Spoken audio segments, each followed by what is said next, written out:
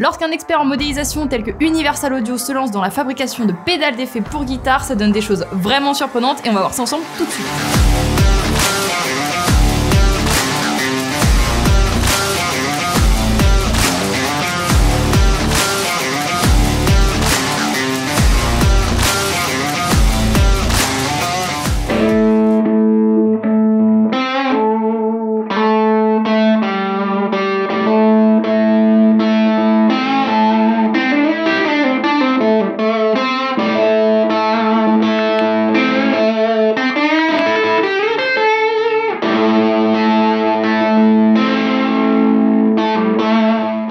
Tous, c'est F prochaine de Stars Music TV. On se retrouve aujourd'hui dans un nouvel épisode de Plug and Talk et nous allons voir ensemble les trois nouvelles UAFX.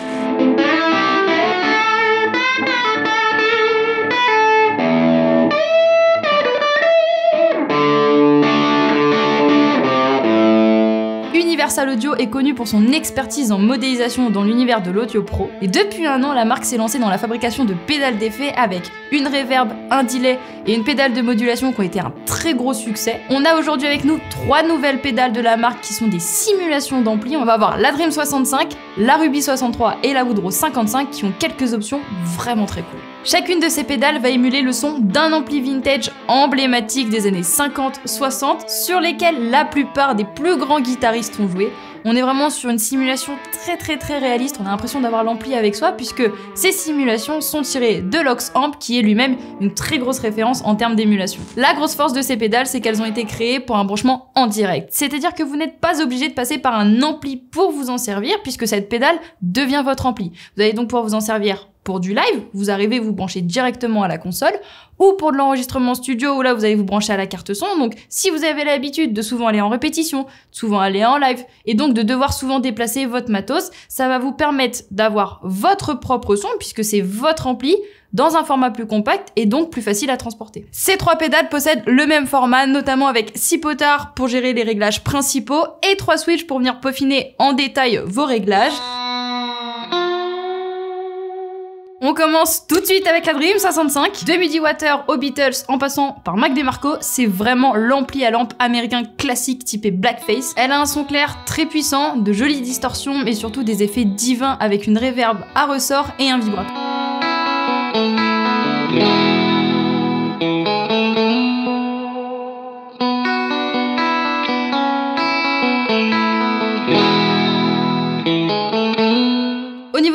De réglage, c'est très simple. On va avoir le volume qui vient gérer le gain d'entrée de la pédale, le output qui va venir vous permettre de gérer le gain de sortie de la pédale, basse, aiguë et boost, assez standard. On va également avoir le potard de reverb qui va venir vous permettre de modifier l'intensité de votre effet. Ensuite, on passe au premier switch qui s'appelle mode. C'est l'équivalent de trois canaux sur un ampli. Vous allez tout d'abord avoir le mode stock qui est l'équivalent d'un clean boost, mais surtout ce qui est intéressant ici, c'est qu'à l'époque sur les Blackface 65, il y avait des modifications de circuit qu'on retrouvait très souvent, et notamment deux qu'on a en émulation juste ici sous l'appellation lead ici qui va vous simuler le son d'une overdrive des années 80, ou encore l'émulation D-Tex qui vous donne un son typé Texas Blues à la Stevie Ray Vaughan.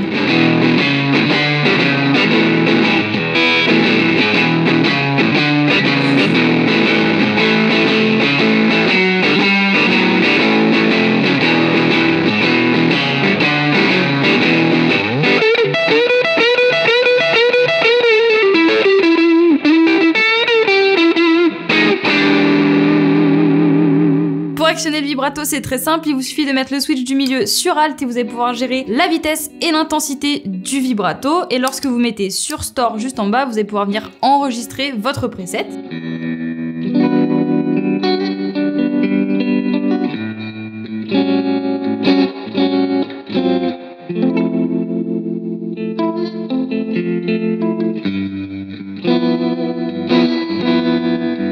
Qui dit amplificateur dit haut-parleur.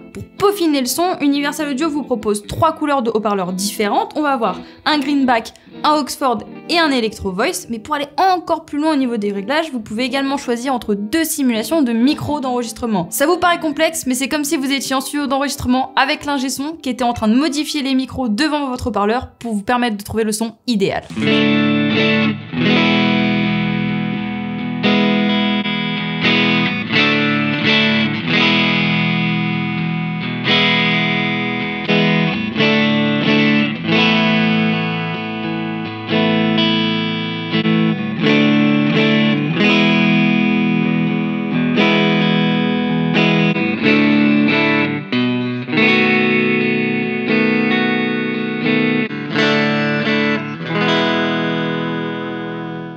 Ensuite à la Ruby 63. De Queen à U2 en passant par Radiohead, c'est vraiment le son british par excellence. Vous allez avoir des clairs angéliques, une overdrive très chaleureuse ainsi qu'un vibrato et deux types de AC30 différents, un 61 et un 63.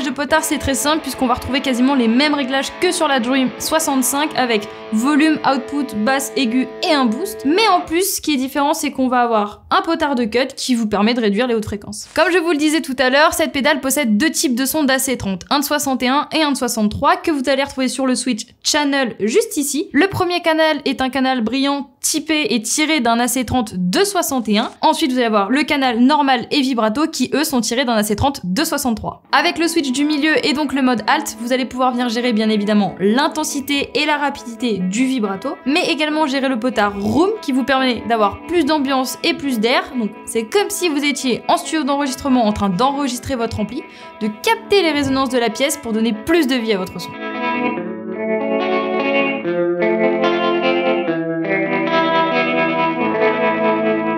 Et comme on l'a vu avec la Dream 65, on retrouve la possibilité de venir sculpter son son en sélectionnant trois haut-parleurs différents avec Silver, Blue et Green. Et ensuite, on passe à la Woodrow 55. Des Eagles à Chuck Berry en passant par Neil Young, c'est celui par lequel tout a commencé. On va retrouver des sons clairs très chaleureux, une belle overdrive et une disto bien baveuse.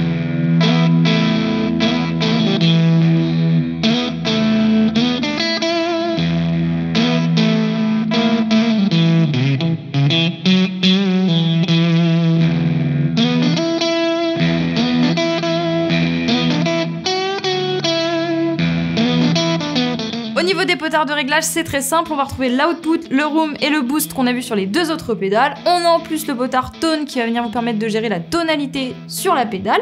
Et on va avoir le potard instrument volume et micro volume qui sont en fait deux canaux. Celui de gauche qui va avoir un son assez brillant et assez agressif.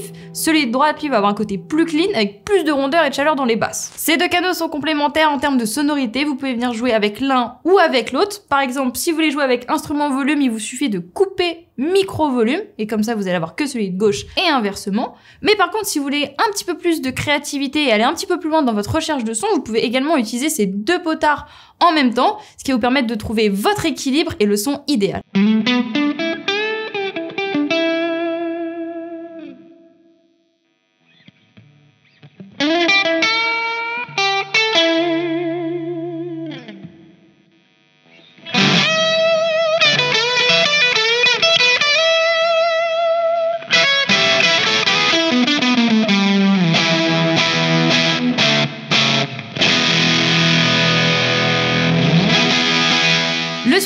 Vous permet de choisir entre trois boosts différents. Vous allez avoir KP3K qui est lui tiré d'un préamp en rack des années 80, Stock qui est le boost d'origine de l'ampli, et EP3 qui a un côté un peu plus vintage. Vous allez retrouver également son volume juste en dessous.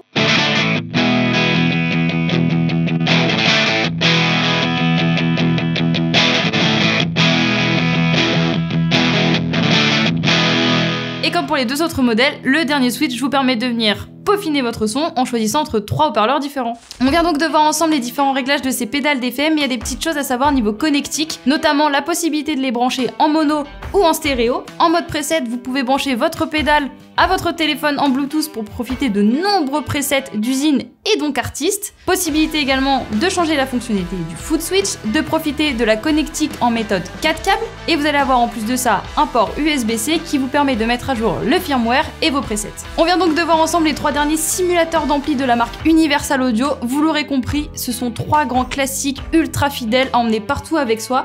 D'ailleurs, n'hésitez pas à me dire dans les commentaires laquelle des trois vous avez préféré. Si vous souhaitez plus d'informations, n'hésitez pas à aller sur notre site internet de Stars Music ou dans nos magasins. Je vous laisse vous abonner à notre compte Facebook, TikTok, Instagram et à notre chaîne YouTube et je vous dis à bientôt dans un prochain épisode.